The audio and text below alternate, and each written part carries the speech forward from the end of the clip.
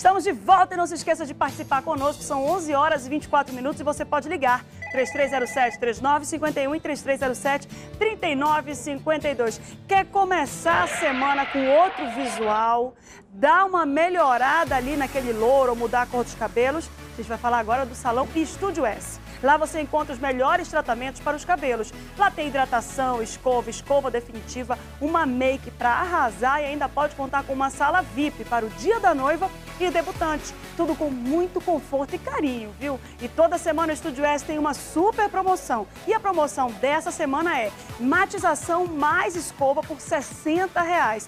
Nada de ficar com, aquela, com aquele louro meio alaranjado, não, hein? Vai lá e corrija no Estúdio S. O Estúdio S fica na rua Gabriel Gonçalves, número 34, no Aleixo. Ligue e marque sua hora. Você vai ligar para 32365878 e falar com a Sandra Lins. Alô, Sandra, quero tirar esse alaranjado aqui do meu cabelo, quero ficar loura matizada. Liga e fala com a Sandra. Amaral, é contigo. Muito bem, você que está ligado com a gente no programa agora, o programa da sua comunidade, o assunto agora é a chuva.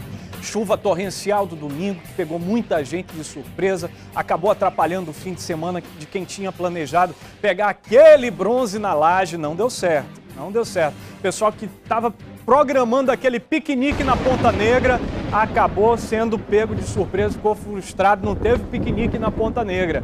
Foi uma tormenta sem fim. A chuva do domingo, chuva de transição, está chegando o período mais seco, período de sol e de verão intenso, é o nosso conhecido verão amazônico. E olha, pessoal, tá, a chuva pegou tanta gente de surpresa, inclusive motoristas, né? Na Avenida Torquato Tapajós, um poste de energia acabou desbarrancando, caindo, puxou outros cinco com ele e atingiu carros. Um momento de dificuldade e de desespero para quem estava nesses veículos. Quem vai nos contar os detalhes disso é a repórter Marquinhos Pereira na reportagem. Solta aí, diretor.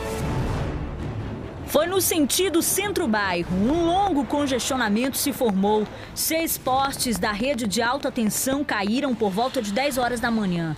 Os fios atingiram três carros. Neste, dois homens estavam dentro, mas ninguém ficou ferido. Eles aguardaram a chegada do corpo de bombeiros e o desligamento da rede para sair do veículo. Tinha três carros. Esse carro que, tá, que se encontra ainda aqui, era, tava com, dois, com duas pessoas dentro e mais uma estrada e o, o gol, que se encontrava os três carros embaixo do fio de atenção. Mas o pior mesmo que estava é esse aqui, que estava com as duas pessoas e o fio estava energizado. Técnicos da Amazonas Energia estiveram no local. Todos os bairros dessa área ficaram sem energia elétrica. A chuva e a ventania desse domingo derrubaram os postes. A suspeita de que a estrutura já não era suficiente para sustentar o peso da rede. A via ficou interditada durante todo o domingo nesse sentido. Tem agentes, dois agentes desviando o trânsito da Torquato, sentido bairro, todo para Max Teixeira, para podermos manter fechada para retirarmos esse poste, para melhorar o, o trânsito. Motoristas tiveram de desviar na altura da estrada do aeroporto. Difícil, viu? A gente não esperava que podia acontecer isso justo no domingo, ainda com chuva, né? Estragou o café da manhã regional do domingo. Depois de três dias de muito calor, a quantidade de chuva desse domingo passou dos 30 milímetros e deixou várias ruas alagadas. Além disso, prejudicou a visibilidade nas principais avenidas, o que exigiu mais dos motoristas. A Defesa Civil atendeu 15 ocorrências e pelo menos quatro pontos de alagamentos foram identificados. Um deles foi na Feira da Manaus Moderna. A água invadiu os corredores. Feirantes tiveram de improvisar com tábuas e fazer uma limpeza emergencial para não prejudicar o movimento do domingo. Situação bastante complicada, né? Veja bem que acabou um poste sendo levado por um desbarrancamento, o peso dele era enorme, puxou outros outros quatro postes, três veículos iam passando, acabaram sendo prejudicados, os motoristas tiveram que ficar do lado de dentro, e essa é a melhor atitude, ficar do lado de dentro do veículo né, e, e evitar... O que, que é, diretor? Ah, sim, perfeitamente, perfeitamente. O diretor está lembrando do caso de uma, de uma professora lá no Zumbi, que no momento em que o, fio de alta tensão caiu sobre o carro dela, ela tentou sair, foi eletrocutada e morreu. Exatamente por isso que a gente recomenda que a pessoa fique dentro do veículo. O veículo tem isolamento para esse tipo de situação, para raios inclusive. Então, a melhor atitude nesse caso é permanecer dentro do veículo até a chegada do socorro. Guardadas, é claro, as proporções. Caso haja algum tipo de incêndio, aí sim tem que ter uma medida de evacuação rápida. É claro, tentando se livrar é, sem tocar no, nos fios de alta tensão, mas não foi o caso aqui. O motorista teve a melhor atitude, que foi aguardar o socorro do Corpo de Bombeiros e o desligamento da rede. Márcia Lasmar. Amaral, esse é o momento, como você muito bem disse, que é a chuva de transição, que é o momento em que o pessoal tem que começar a ficar atento. Ficar atento a muro que está muito tempo ali construído, está sem o reboco, de repente está vacilante ali. Ficar atento nos telhados de casa, ver coberturas, né? ver aquelas coberturas de, de, de, de toldo ou até de, de, de, de outro material também. Tomar cuidado, porque esse é o momento que tem muito vento, é, o, o perigo ali é de desabamento de, de paredes, desabamento de muros, ser levado ali a cobertura. Então tem que se ficar atento, porque é um perigo. Outdoors também, ver se está próximo ali a estacionamentos, próximo a residências, porque normalmente os ventos aqui da região são muito fortes, os ventos aqui na nossa cidade são muito fortes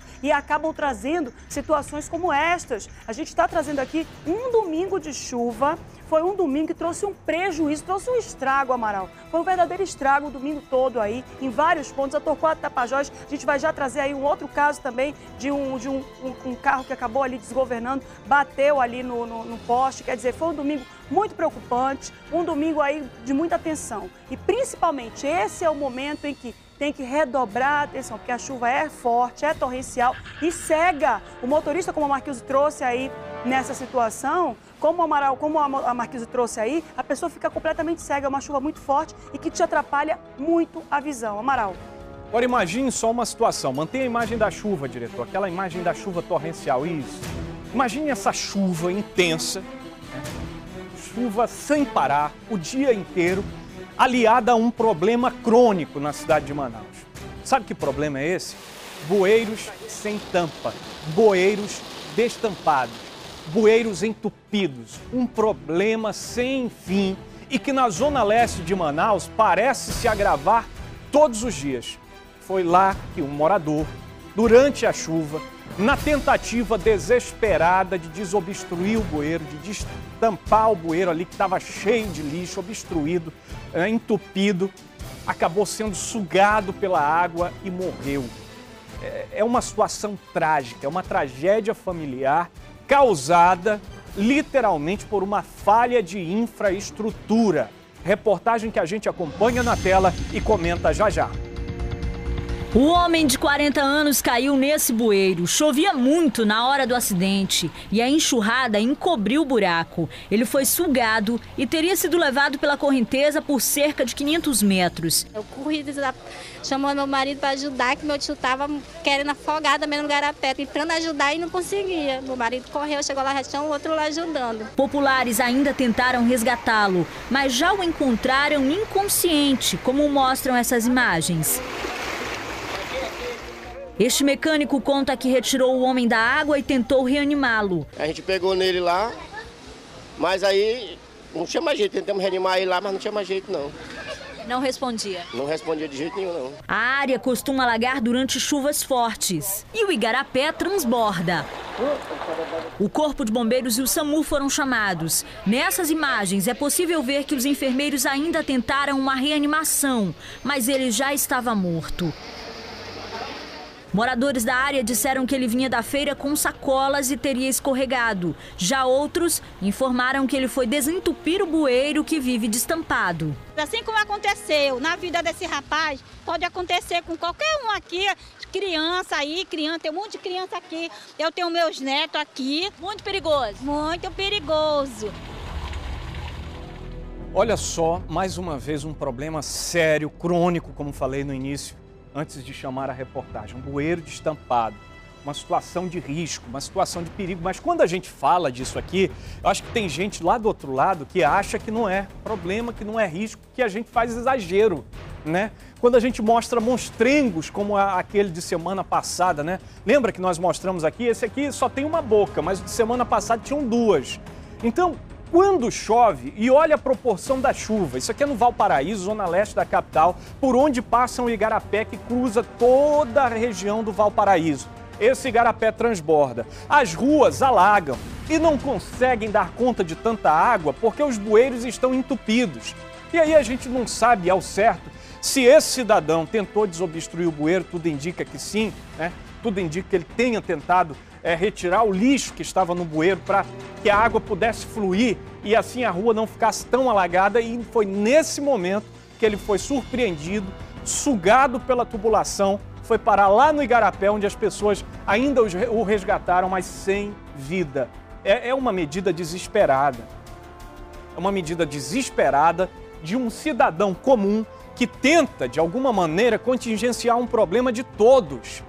E esse problema diz respeito ao lixo jogado no meio da rua, ao lixo jogado sem nenhuma preocupação, que acaba indo parar no bueiro e entope, e há uma providência da Secretaria de Infraestrutura, que faz tempo não faz uma tampa para bueiro. Marcela Asmar. Pois é, Amaral. A Semif está respondendo aqui para a gente que ela já colocou aí duas mil tampas de bueiros em determinadas áreas aí da cidade. Mas que, de acordo com o mapeamento feito pela Secretaria Municipal de Infraestrutura, ainda faltam 6 mil tampas para serem recolocadas. E eles estão com mutirão, né? Nesse período aí, eles estão aqui dizendo na nota que estão com mutirão e que vão fazer esse serviço aí durante 30 dias no bairro Jorge Teixeira. E, inclusive, além de recapeamento, infraestrutura, estrutura, fazer sarjeta, também vão colocar tampas nos bueiros aí na, no Jorge Teixeira. Agora, a gente anuncia, a gente fala, diz, pede, implora, junto com o pessoal da comunidade, quando a gente traz as, as nossas matérias aqui,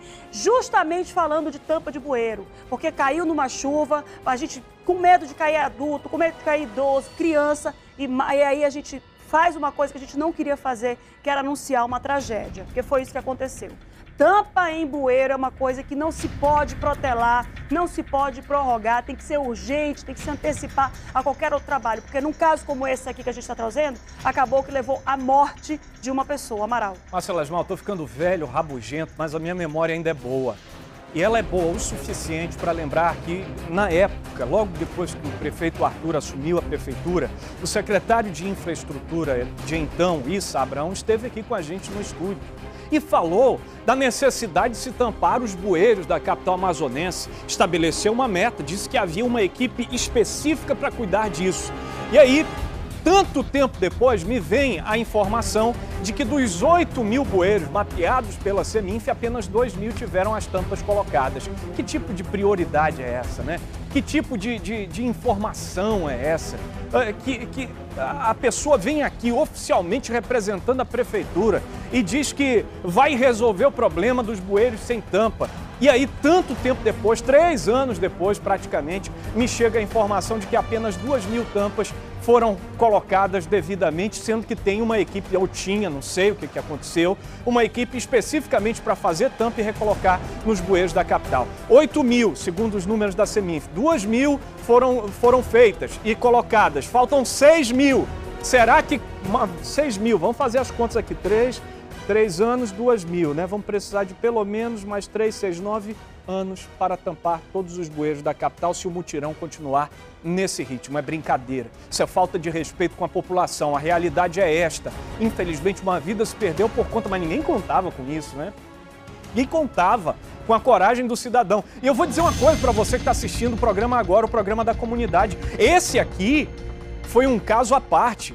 Mas ele não foi o único cidadão que se meteu dentro de um bueiro durante essa chuva, não. Porque essa é uma medida desesperada e toda vez que chove na zona leste, na zona norte de Manaus, tem cidadão dentro de bueiro com enxada, com boca de lobo, com pá, de alguma maneira tentando desobstruir bueiro e fazer o trabalho que não é dele. Porque o bueiro está sem tampa, porque o bueiro não tem grade, porque o lixo que o cidadão também joga na rua vai parar dentro do bueiro e entope tudo.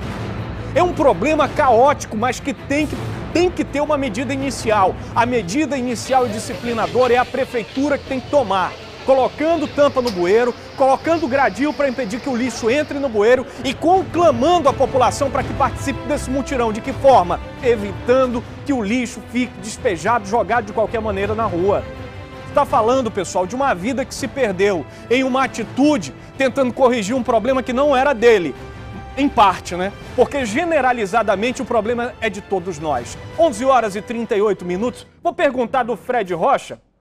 Vou perguntar do Fred Rocha se tem bueiro destampado no Grande Vitória, na zona leste de Manaus, onde está o repórter comunidade.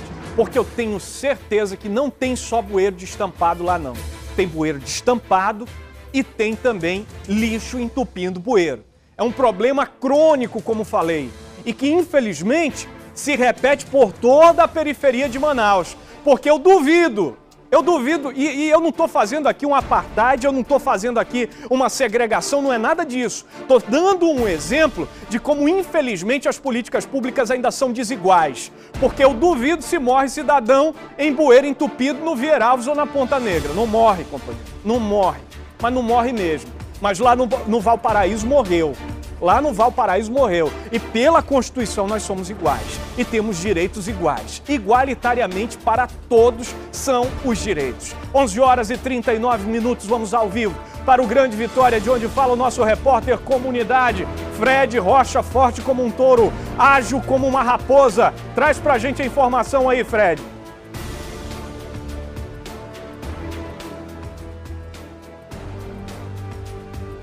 Mesmo, Amaral. Olha, eu acompanhava você falando aí do lixo, falando dos bueiros. Olha só, aqui nesta parte onde nós estamos, nem bueiro tem. O que a gente consegue observar é muito lixo, muita sujeira, uma água realmente contaminada que passa por aqui sem ter um lugar ideal para escorrer.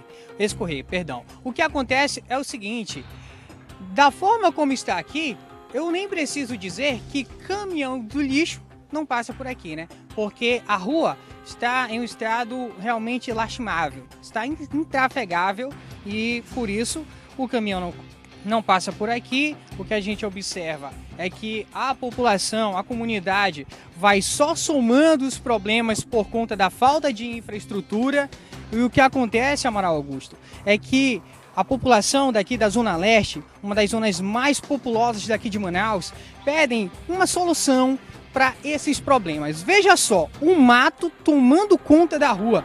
Olha essa parte onde o repórter cinematográfico Gato Júnior mostra para vocês. Isso é uma cratera em via pública. Como é que pode, numa cidade como Manaus, que a gente observa aqui na rua Britânia, a situação estar desse jeito? Fica difícil os moradores ficarem satisfeitos com tantos problemas aqui na Zona Leste, no Grande Vitória. Eu vou conversar com o seu Cláudio, que, que foi quem denunciou o problema. Seu Cláudio, há pelo menos quantos anos a situação está assim? Já está para mais de dois anos isso aqui. A gente procura as autoridades, as pessoas para vir resolver a situação, mas nada resolvido. Já tem várias entradas da Cajal deu aí na secretaria, mas ninguém vem aqui. E nós temos carro, nós temos as crianças que vão para o colégio, tem deficiente visual, tem um rapaz de cadeira de roda. E a gente também não tem condições de aguentar isso tudo, tá entendendo? A gente quer que agilize isso aqui, que pelo menos passe um asfalto, alguma coisa para que melhore isso aqui. Conta da situação não passa também polícia, não passa nada, aqueles velhos problemas decorrentes da falta de infraestrutura, não é isso? Isso, não passa a polícia, não passa o carro do lixo, já não está mais tendo condição de passar. Né? Os carros daqui da rua também já não estão passando, meu carro quebrou, gastei 300 reais no carro para consertar, para poder, não estou mais nem andando no carro já que não tem mais condições.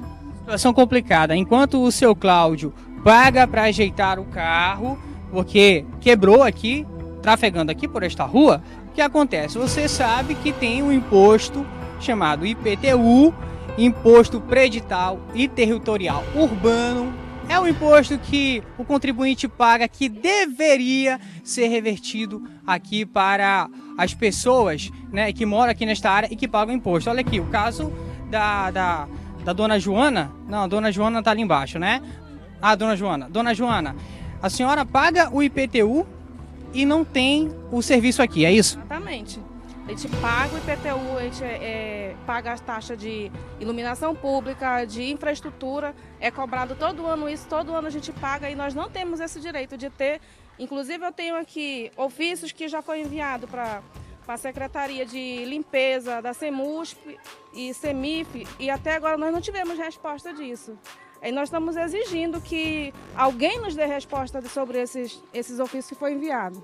Exatamente, Amaral Augusto, Márcia Lasmar, você que nos acompanha em casa, esses dois ofícios aqui, a comunidade aqui que se juntou e fez e levou no ano passado até as secretarias, tanto de limpeza pública quanto a Secretaria Municipal de Infraestrutura. Ô Fred. E eles disseram, se comprometeram que viriam resolver os problemas. E olha só, os problemas estão aqui desde o ano passado, os papéis onde eles se comprometeram em resolver estão aqui nas minhas mãos agora, estavam agora há pouco nas mãos da comunidade, mas na prática nada aconteceu. Você falava agora há pouco desse comprometimento que as autoridades vão às vezes na televisão, que se comprometem com a, população, mas que na prática não cumprem, Amaral Augusto. Uma situação muito, muito complicada. Exatamente isso. Fred, sabe quando você estava entrevistando ali o, o, cidadão, o morador, eu percebi eh, na, nas imagens ali no fundo que, que são cidadãos comprometidos com a rua, que são comprometidos com a própria comunidade. E eu vou, eu vou mostrar para você, por meio do Fred, das imagens do repórter cinematográfico Gato Júnior, o exemplo desse comprometimento. Você percebe que em frente à casa tem uma lixeirinha. Uma lixeirinha tampada. Vou pedir para o Gato Júnior ir lá nessa lixeira mostrar para gente. Uma lixeirinha bem tampadinha, acomodando o lixo como deve ser, para que o cachorro não rasgue. Olha só, ali perto da criançada, tá ali, ó. Olha ali, ó. Olha ali a lixeirinha, Marcela Asmar, tampadinha, para que não tenha problema de rasgar o saco de lixo, para que não entupa, porque nem bueiro tem. Nem bueiro tem. Isso aqui é apenas um elemento que mostra o comprometimento da comunidade, do comunitário, do cidadão, do contribuinte, que paga os seus impostos. Outra coisa, observe como o cidadão é organizado. A dona Joana fez dois ofícios levou até a Secretaria Municipal de Infraestrutura e levou outro até a Secretaria Municipal de Limpeza, dizendo: pessoal, nós precisamos da coleta de lixo, a nossa parte a gente faz. Ninguém bota o lixo na rua de qualquer jeito, mas o caminhão não pode entrar. E claro, não pode entrar mesmo, porque até agora eu não sei se tem caminhão de lixo que é 4x4, 6x4, sei lá, que, que tem tração suficiente para entrar nesse lamaçal. A verdade é que não tem a população está prejudicada literalmente. E aqui nem bueiro tem, como o Fred acabou de falar. Aliás, o Fred falou outras coisas importantes aqui para a gente, né? No momento em que ele mostrava, ele falou do comprometimento. Onde está o comprometimento das autoridades com essa população e com essa criançada que corre na beira dessa erosão aqui? Cadê o compromisso? Cadê o compromisso com a qualidade de vida, o compromisso com a cidadania? Cadê o compromisso com o bem-estar da população, o compromisso com a segurança dessa população, com a segurança dessas crianças e dessas famílias? Cadê o compromisso com itens essenciais, como a coleta de lixo, a infraestrutura, o meio-fio, o bueiro? Porque tudo isso aqui, toda essa água suja que está passando aqui, vai parar no Igarapé vai parar no Igarapé, lá naquele Igarapé, sabe? Aquele Igarapé que corre para o outro Igarapé, que vai para o outro, enfim, que forma, infelizmente, não uma rede de água limpa, mas uma rede enorme de esgoto a céu aberto que prejudica toda a nossa cidade. Não dá para administrar duas Manaus, a Manaus da periferia e a Manaus uh, do bairro Nobre. Não pode ser assim. A administração pública tem que ser igualitária, ela tem que ser equivalente. Enquanto houver esse tipo de desequilíbrio aqui, infelizmente, vai ter nosso repórter cinematográfico metendo câmera no mato para mostrar para você como tem mato e como tem lixo. Isso aqui é a Zona Leste de Manaus, é o Grande Vitória. Se se comprometeu o poder público com essa parcela da população, transformando e urbanizando esse, essa invasão em bairro, porque foi invasão, hoje é bairro, é urbanizado, tem que cumprir com os compromissos e resolver os problemas, e que não são poucos, como você vai ver daqui a pouco. O Fred Rocha, quando voltar, vai trazer outras informações. Você acha que é só isso? Não é só isso, não. 11h47, ligue, participe, denuncie. Este é o Agora, o programa da comunidade. Os nossos números estão abertos para a sua participação. Tá pronta Márcia Lasmar, diretor? É ela que está vindo aí? Muito bem, Marcinha. Quando chegamos a 11 horas e 48 minutos, traz dica na sua tela. Então, fique atento, fique esperto. Amaral, a gente faz tanto sacrifício para acabar com a gordura localizada, né? Mas agora ficou mais fácil com o Imecap Redutor de Medidas. Imecap Redutor de Medidas é um tratamento completo para a redução da gordura abdominal e dos quadris. Imecap Redutor de Medidas é uma combinação de creme e cápsula. O creme com nanotecnologia atinge as camadas mais profundas da pele, onde os cremes comuns não alcançam, eliminando a gordura localizada. Já as cápsulas agem de dentro para fora, onde os cremes não chegam, acelerando o metabolismo e destruindo as gorduras mais profundas. E Make Redutor de Medidas é um tratamento revolucionário e é indicado para homens e mulheres. Experimente. Gordura localizada tem solução com Imecap Redutor de Medidas. Imecap Redutor de Medidas está à venda em todas as farmácias do Brasil e ao chegar à farmácia não aceite outro. Troque de farmácia, mas não troque de produto. Com o Imbecap Redutor de Medidas, tem preços promocionais só nas redes de farmácias Angélica e Farmabem. Eu disse Angélica e Farmabem. Imbecap Redutor de Medidas tem a garantia de qualidade de Vicom Farma. Amaral, é contigo. Obrigado, Márcia Lasmar, 11 horas e 49 minutos, quase 10 minutinhos para o meio-dia. Você que está aí do outro lado e que é fã do MMA tem resultado das lutas da quinta edição do Rei da Selva Combate. Nós vamos receber aqui os grandes campeões. Olha, vou te contar, viu? É um festival de luta e luta de qualidade. Nós vamos receber alguns dos lutadores que tiveram vitória garantida em mais uma edição do Rei da Selva já já depois do intervalo. Você Casa fica com as imagens aí.